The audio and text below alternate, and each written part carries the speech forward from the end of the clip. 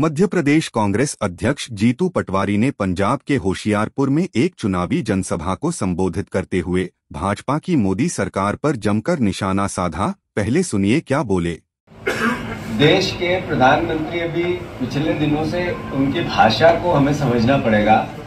वो कल भाषण कर रहे थे कि कांग्रेस को अगर आपने वोट कर दिया तो आपके घर की टोटियाँ निकाल लेंगे। फिर उससे पहले कर रहे थे कि वो जो घर बने हैं हमारे, उसके ताले लगवा देंगे।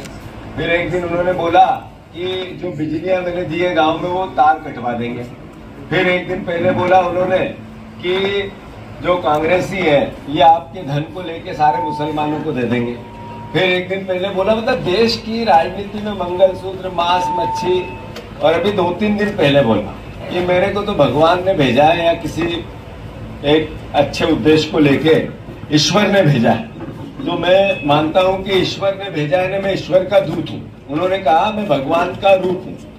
तो मैं इतना ही कहना चाहता हूँ, अवतार। तो मैं इतना ही कहना चाहता हूँ कि भगवान का ऐसा कैसा अवतार हो सकता है, जो नफरत और घृणा फैलाए। वाहे गुरु जी ने ये बात कहते हुए मुझे बड़ा फक्र भी है कि गुरु नानक देव जी और हमारे जितने भी गुरु हुए, जब हमारी जितनी भी कहानियाँ, किस्से या गुरु वाणी में जितनी बातें हमने सुनी पड़ी उसमें मुगलों से संघर्ष था। और उसके बाद भी वाहे गुरु जी ने प्रेम, प्यार, मोहब्बत और त्याग, बलिदान और सेवा की बात ये ये होता है अवतार। ईश्वर का अवतार ये होता है, ये नहीं होता है कि एक दिन बात करनी है भली और दूसरे दिन करनी वापस नफरत की। बैठ के कहा एक दिन एक इंटरव्यू में देश के प्रधानमंत्री ने कि जब जिस दिन मैं हिंदू मुसलमान करूँगा, उस दिन मेरे जीवन में राजनीति में रहना मेरे लिए सार्थकता ही खत्म हो जाएगी। और दूसरे दिन जैसे भाषण किया और कहा, कांग्रेस आपके धन को सारा मुसलमानों को दे देगी। मतलब इस तरह की भावना एक व्यक्ति जब बताने लगे, देश का प्रधानमंत्री बताने लगे तो हमें सबको सतर्क होना पड़ेगा कि देश हमारा है।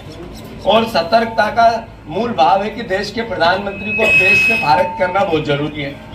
अगर इस भावना को कि बीजेपी को हराना है तो फिर अकाली को भी अगर किसी भी प्रकार का सहयोग मिलेगा तो इनडायरेक्टली बीजेपी को ही मिलेगा।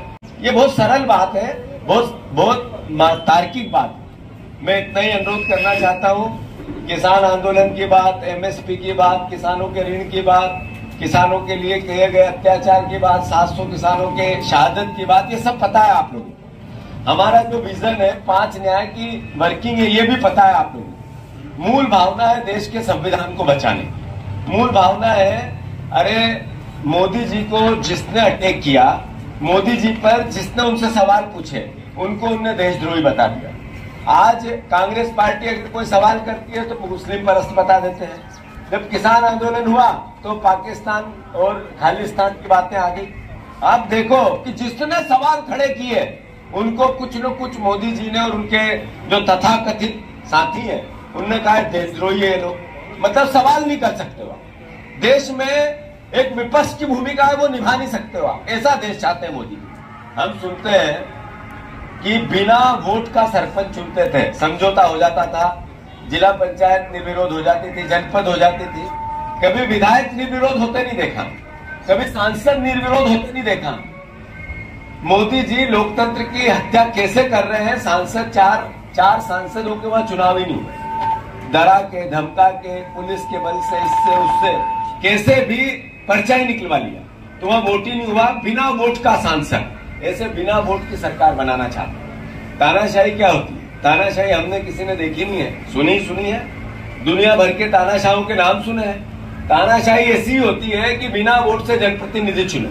और फिर जनप्रतिनिधि आपकी नहीं सुने। आप सुनाने जाए तो चार सुनाए आपको। यही तानाशाही है प्रशासन का डर बताए। ऐसे ही मोदी जी ने ईडी और सीबीआई के डर से 141 लोगों पर कार्रवाई की। 121 बीजेपी में जमा कर लिए। सुना होगा अखबारों में आपने। नाम बताने की आवश्यकता नहीं है। यही तो तानाशाही होती है। पटवारी ने कहा है कि लोकसभा चुनाव के दौरान प्रधानमंत्री मोदी का मुख्य चुनावी मुद्दा जनता का ध्यान भ्रमित करना और नफरत की राजनीति का सहारा लेना रहा है। जबकि कांग्रेस पार्टी न्याय के पाँच सिद्धांत पर चुनाव लड़ रही है, जिसका उद्देश्य किसान, युवा, महिला, श्रमिक सहित हर वर्ग के लिए न्याय है।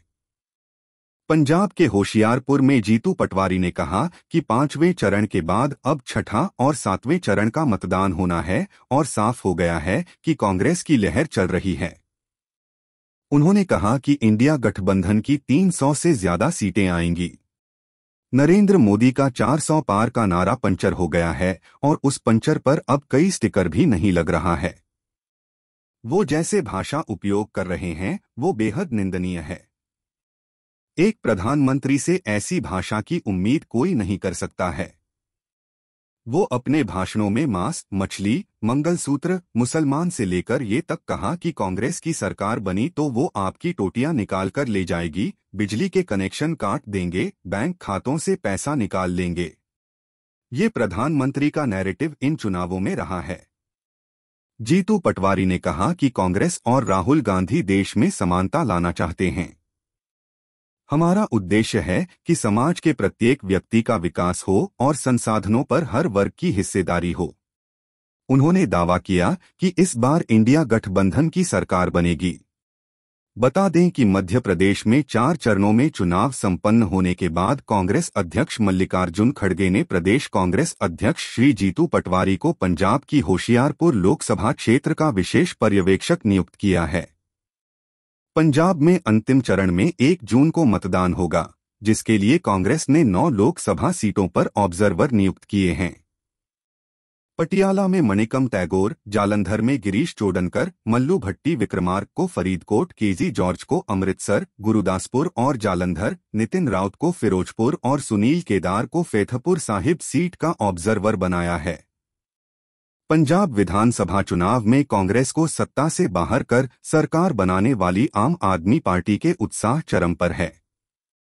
सीएम भगवंत मान के नेतृत्व में आप सरकार की दो वर्षों की उपलब्धियों के आधार पर वोट जुटाने की कोशिश करेगी। आम आदमी पार्टी ने पंजाब की सभी सीटों पर जीत का दावा किया है। पंजाब में कांग्रेस, बीजेपी और अकाली दल मैदान में हैं।